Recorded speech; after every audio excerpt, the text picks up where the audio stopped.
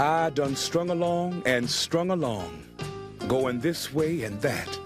Whatever way would lead me to a moment of peace. That's all I want, to be as easy with everything. But I wasn't born to that. I was born to a time of fire.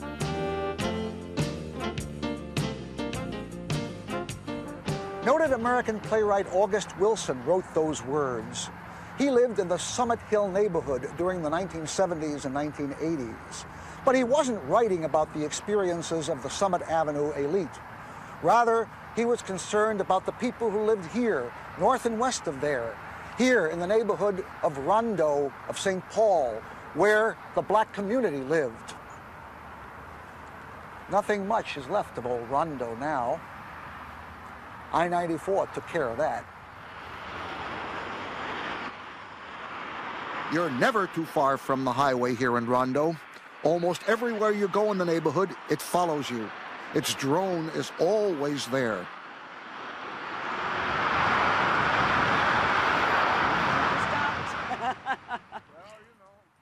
Evelyn Fairbanks knows that sound. She grew up in Rondo and lost her home to the highway. When we arranged an interview with Evelyn, we picked for a site this vacant lot on St. Anthony Avenue, her old street. The lot turned out to be right next door to the condemned house where her brother Oscar used to live. Rondo, we quickly learned, is a small world. The Blairs lived here downstairs. They owned this house. And when their daughter, Freddie, her name was Fredonia, when her daughter, Freddie, married my brother, they, they came to live here upstairs. So I visited this house quite a lot. It was, it was a pretty fancy house. It, we were, this was on the hill.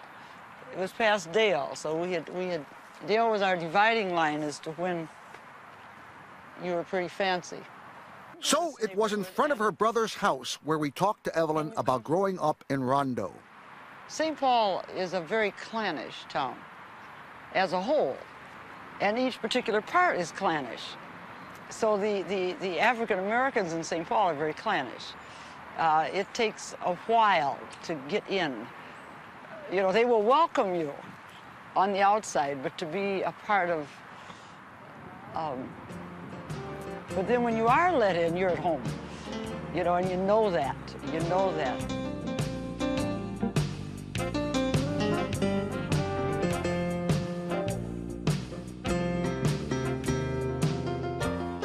Rondo was where St. Paul's black community lived, but it was not an exclusively black neighborhood.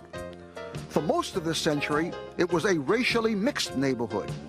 It was the kind of place where the local community center, the Hallie Q. Brown Center, had a black Santa. But while most of the children who came to Hallie Q. Brown were black, some of the kids who sat on that black Santa's knees were white. But there were special occasions when Black St. Paul gathered together all by itself. There were numerous black churches where African Americans came to worship, and there were the neighborhood's social clubs. The Elks Club was black, and um, I didn't even realize that there was a white Elks. you know, I thought the only Elks were black, and um, as they traveled throughout the country, uh, they went to the Elks. It was a place that strangers from other parts of the country could go and be welcomed as brothers and sisters. Um, and they had a parade. They, uh, they had a marching unit. And that was one of the proud moments of being black because, of course, no white group could do that. they hadn't done it, you know. And, uh, but they had the, the different beat and the different step. And, uh, oh, Oh, that was marvelous. This film was shot in the early 50s. And by the end of the decade, St. Paul's black community would change in a profound way. The government was busy planning highways, and the first interstate section in St. Paul would be built right through the heart of Rondo. And so, with little public outcry, block after neighborhood block was cleared to make room for the big road.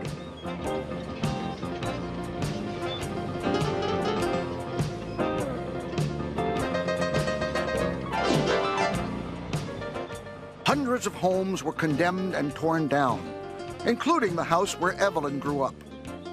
At first, the road didn't really go anywhere. It was just a ribbon of white dropped into St. Paul's black neighborhood. It would be years before the highway hooked up to the east or the west. But finished or not, the highway had come. There had never really been any hope of stopping it. The neighborhood had to settle for one small victory. The original plans called for the roadway to be elevated for much of the route through Rondo. After strong neighborhood protests about an elevated route, highway engineers agreed to put the highway in a sunken trench. This is the warehouse at the Department of Transportation, where files upon files are kept for the thousands of state residents who lost their homes for I-94. Here in these files are the records of the 400 Rondo neighborhood homes that were torn down for the interstate. Fully 300 of these homes belong to black households. One of every eight blacks living in the city at the time lost a home to the freeway, and each has a file in this room, including Evelyn. Evelyn hadn't seen her house in 30 years before we uncovered photos of it stapled in her old highway department file. Oh my goodness. Look at that. Isn't that something? You know, a child to a child, you don't see the upstairs. Oh my goodness, this is unreal. That's where it was. And I slept right in the front bedroom, right in there. And those are the stairs going upstairs. And the house next door. That was a nice house. That was a nice house. My whole childhood. And that stair on the hollyhocks, there they are. Oh man. Oh, man. Evelyn's neighborhood has changed a great deal since 1960, when the old homes were torn down and replaced by entrance ramps and frontage road apartments. The highway accelerated the changes going on in the neighborhood. In 1950, most of the people in Evelyn's part of Rondo were white. By 1960, after the homes were cleared, most of the neighborhood was black. Today, Evelyn's old neighborhood is changing again.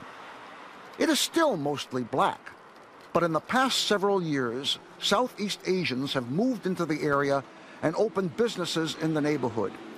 The city's fastest growing ethnic group, the Asians, now outnumber whites in some parts of Old Rondo.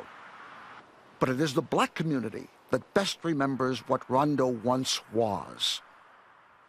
I'm standing on my front porch.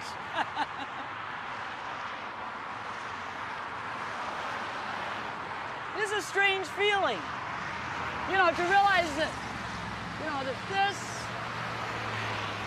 was there. These are the same weeds, the same seeds, the same root system. You know, this was all under there all the time. Grass was fun, you see. Especially this kind. You know, that's why you... You did that a lot as a kid.